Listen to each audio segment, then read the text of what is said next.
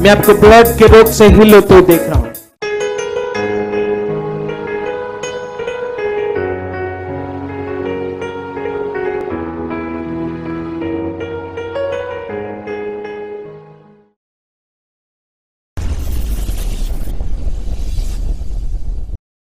तो प्रेरित जी, जिस सिस्टर का नाम टीना है और जो अमृतसर वेरके के रहने वाले, इनकी बहुत ही बड़ी गवाही है। इस सिस्टर की गवाही जे बता रहे हैं कि एक साल से जो अदर चर्च जाते थे और उस समय इनकी बॉडी में बहुत ज़्यादा प्रॉब्लम थी। इन्होंने बताया कि इनकी बॉडी में बहुत ज़्यादा वीकनेस रहती थी और जिसके कारण इन्होंने बताया कि ये काम भी नहीं कर सकते थे और जिस जब इन्होंने टेस्ट करवाया तो उन्होंने बताया कि इनका ब्लड जो था बहुत ही कम था तीन ग्राम इनका ब्लड रह गया था।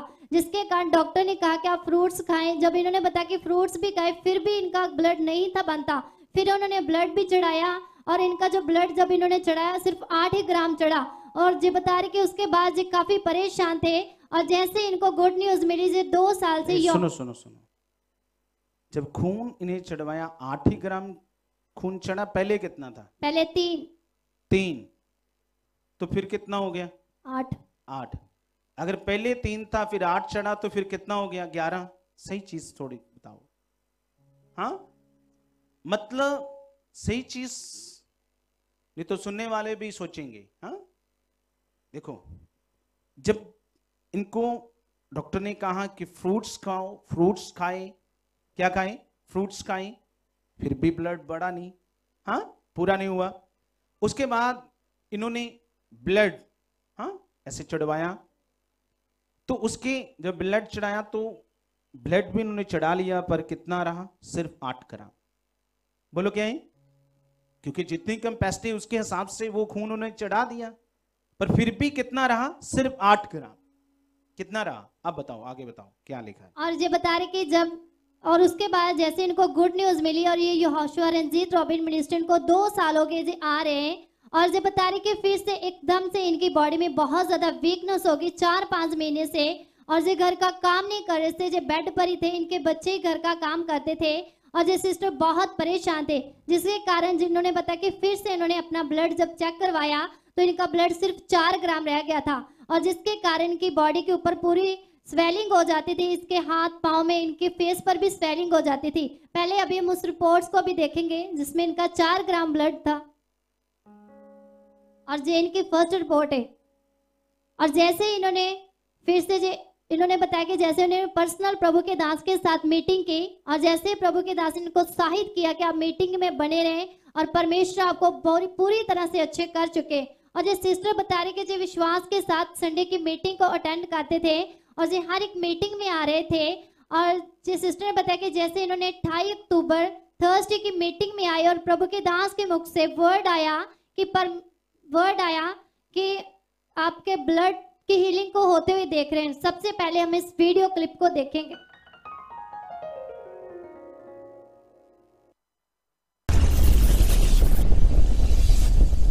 ब्लड के रोग से हिल होते हुए देख रहा हूँ। मैं आपको ब्लड के रोग से हिल होते हुए देख रहा हूँ।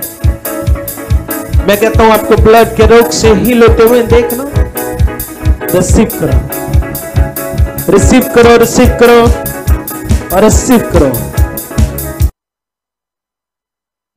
जैसे इन्होंने इस वर्ड को रिसीव किया और जो धन्यवाद में बने रहे और इन्होंने बताया कि फिर से इन्होंने पर्सनली प्रभु के दास के साथ मीटिंग की और जो विश्वास में बने रहे और जब बता रहे कि जैसे इनको लगा कि अब इनकी बॉडी में कोई वीकनेस नहीं है जो अपने घर का काम कर रहे थे फिर इन्होंने अपनी रिपोर्ट कराई और जब इन्होंने अपनी कल रिपोर्ट्स कराई और इन, इन्होंने बताया कि अब इनका जो ब्लड है वो 11 ग्राम हो गया है अब हम उस रिपोर्ट्स को भी देखेंगे।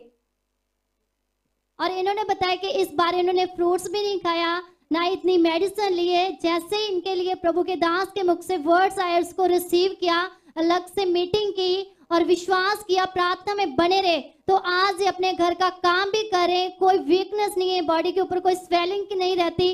जे पूरी तरह से इस प्रॉब्लम से परमेश्वर ने को आज़ाद कर दिया। इस गवाही के लिए परमेश्वर का धन्यवाद करते हैं, हम सब तारीफ़ करेंगे ऊँचा ऊँचा ये तारीफ़ छोटी नहीं है। ਵੰਡਣ ਸ਼ਿਫਾਵਾਂ ਵੇਖੋ ਆਪ ਯਸੂ ਆਇਆ ਏ ਵੰਡਣ ਸ਼ਿਫਾਵਾਂ ਵੇਖੋ ਆਪ ਯਸੂ ਆਇਆ ਏ ਵੰਡਣ ਸ਼ਿਫਾਵਾਂ ਵੇਖੋ ਆਪ ਯਸੂ ਆਇਆ ਏ ਵੰਡਣ ਸ਼ਿਫਾਵਾਂ ਵੇਖੋ ਆਪ ਯਸੂ ਆਇਆ ਏ ਪਾਕ ਲਹੂ ਵਾਲਾ ਉਹਨੇ ਚਸ਼ ओके कितने लोग विश्वास करते हैं कोई जीवित परमेश्वर हमारे बीच है हाँ बोलो क्या है कितने लोग विश्वास करते हैं जी छोटी बात है बोलो छोटी बात है ये प्रॉब्लम इन्हें पहले भी हुई, पर पहले जब इन्हें खून चढ़ा तो सिर्फ़ आठ ही ग्राम रहा, पर आप देखो, अब खून भी नहीं चढ़ाया, कोई फल भी नहीं खाए, अब कितना है? ग्यारह, दस पॉइंट नौ मतलब ग्यारह है। बोलो क्या है? ग्यारह है ग्यारह। ग्यारह से थोड़ा कम है ना, दस पॉइंट नौ है। तो ये सब कुछ कैसे और कब होता है? बोलो।